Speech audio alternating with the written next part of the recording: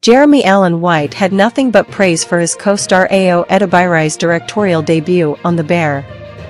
At the show's season 3 premiere on June 25, White recalled the excitement of witnessing Edebiri's first day behind the camera. It was the best, White told Variety.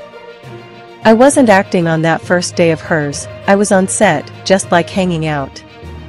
He fondly remembered watching Edebiri yell action for the first time, beaming with pride for his co-star's new endeavor.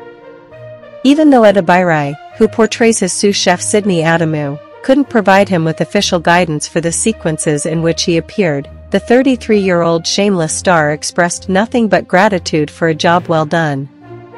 I can say she did a beautiful job. She was very competent, I mean everybody knows how smart she is, he continued.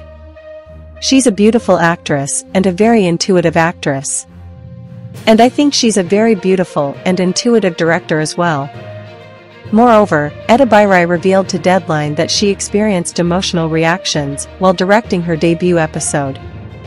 I cried. It was written very beautifully, she said of reading the script for the first time.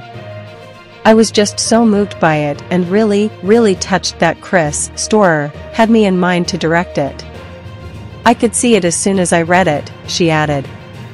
White's heartfelt commendation and Edebiri's emotional journey underscore the collaborative and supportive environment on the set of The Bear. Edebiri's successful transition from actress to director demonstrates her multifaceted talent and the deep respect she has earned from her colleagues. The anticipation for her directorial debut episode is high, with fans eager to see her unique vision come to life on screen.